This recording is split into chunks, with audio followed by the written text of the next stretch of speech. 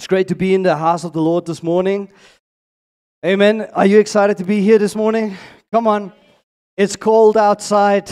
It's perfect weather for sleeping in today, but you made it to church. Hallelujah. The first victory today has already been won. Come on, give Jesus some praise.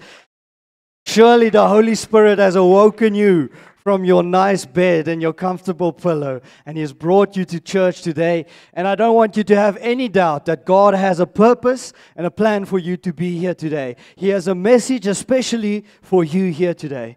So I want to welcome you in the house of the Lord. Welcome to every visitor, every first timer, maybe it's your second or third time. Welcome here in the house of God on behalf of our pastors. Pastor Armand and Marisa, you're so welcome in the house of the Lord.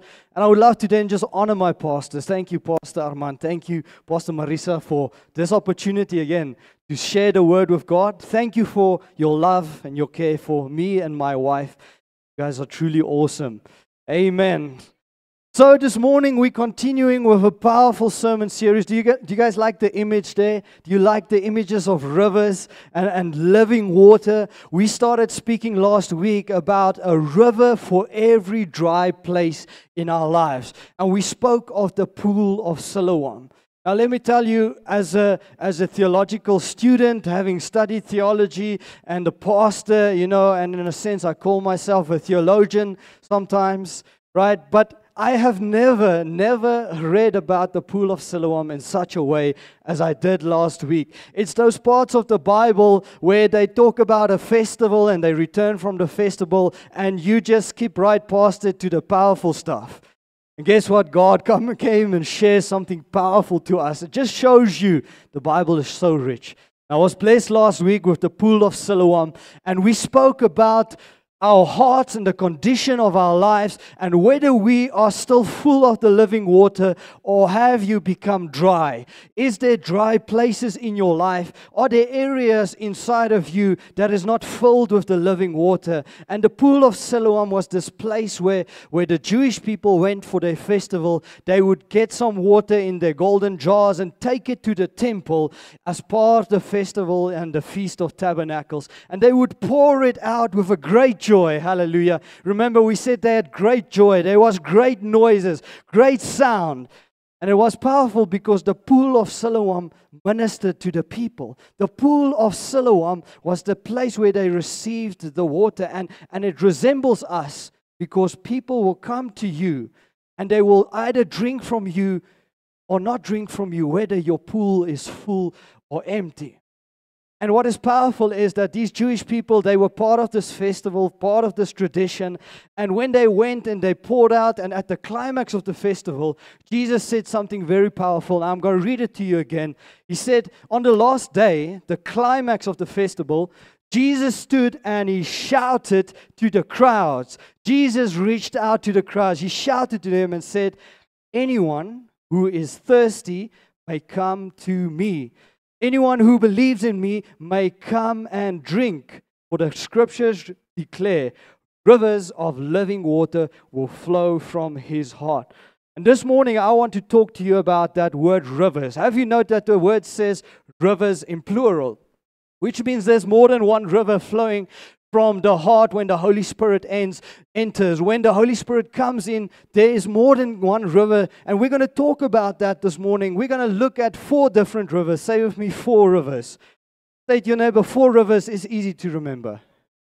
It's easy, amen. Right? We're going to talk about these four rivers that I believe the Holy Spirit comes and He brings this river and it flows into you and it changes our very nature, our very character in every form. The first river, then, this morning is the river of eternal and abundant life. Say with me, the river of eternal. Come and tell your neighbor, neighbor, we have to. Hallelujah. Voices loud and high. Amen. The rivers of eternal and abundant life. I want to take you back to a story where Jesus, and we know this story well, Jesus was traveling with his disciples. They were traveling from town to town, and they passed the town of Samaria. In the, they were in Samaria, and they came by a well. At that moment, Jesus finds himself starting to talk with the Samaritan woman. And he starts to talk with this woman who comes there to receive water, to take care of her home, to take care of her family. And Jesus initiates a conversation with this woman who comes to the well. And I'm not going to go into depth about the story again this morning, but let me, let me tell you that this well represents represents the world. It represents everything else that we try to fill our lives with.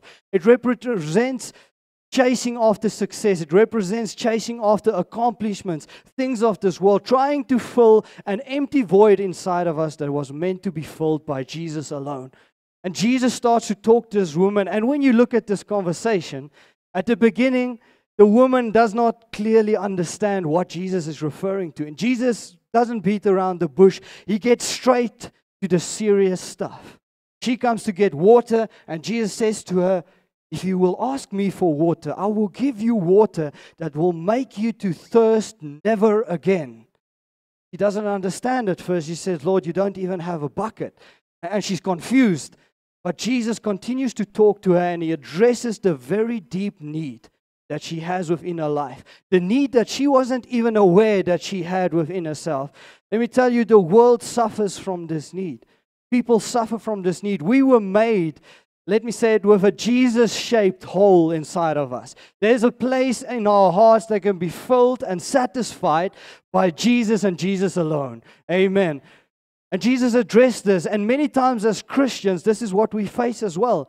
We love Jesus, we come to church, we spend time in God's presence, but still we try to fill the hunger and the thirst with other things, things that are not from God. And Jesus responds to the woman in the following way He says to her, But those who drink the water I will give will never be thirsty again.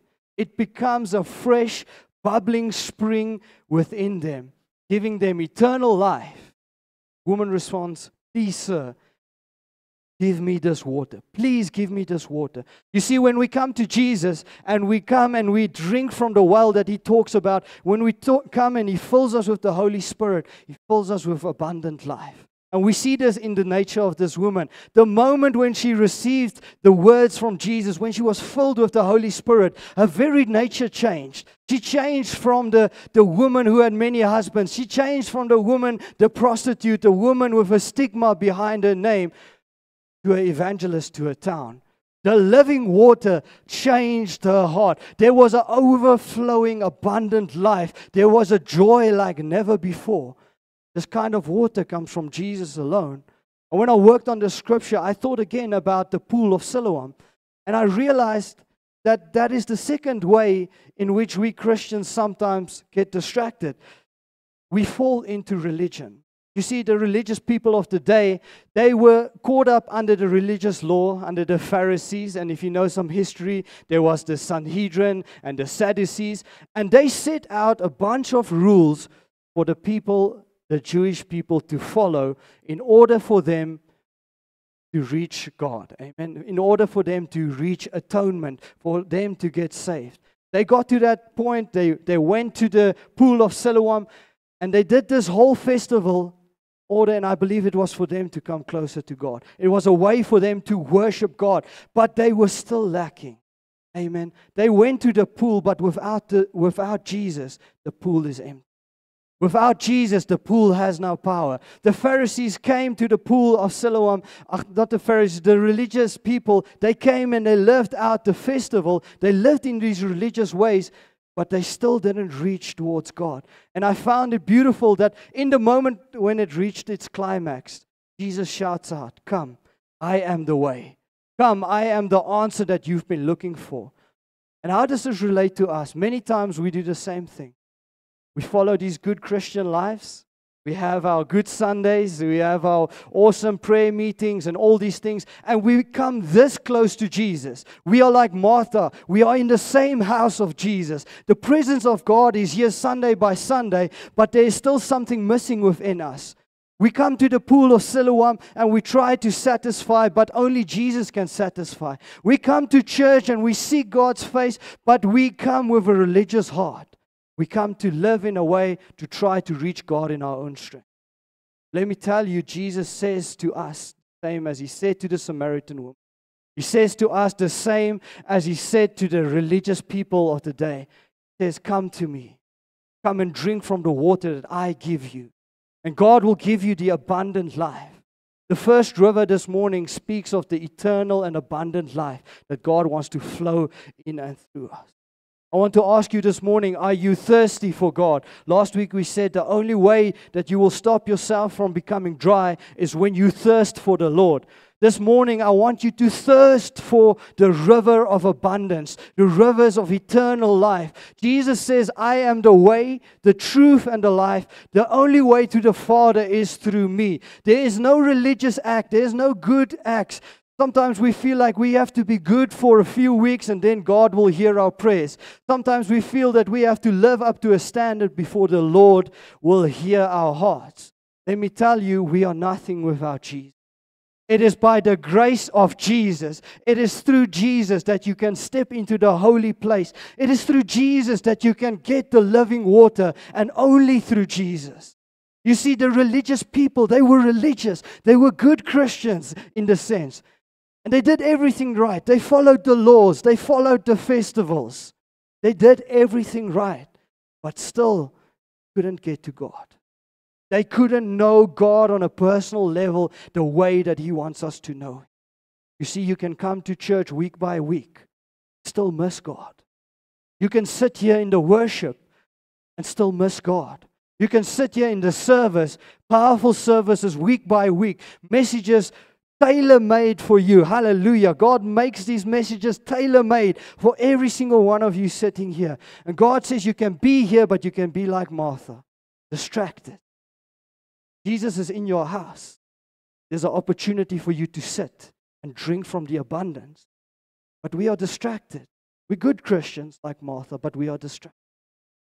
This morning, I want to encourage you to have a new thirst to thirst for the, liver, the rivers of abundance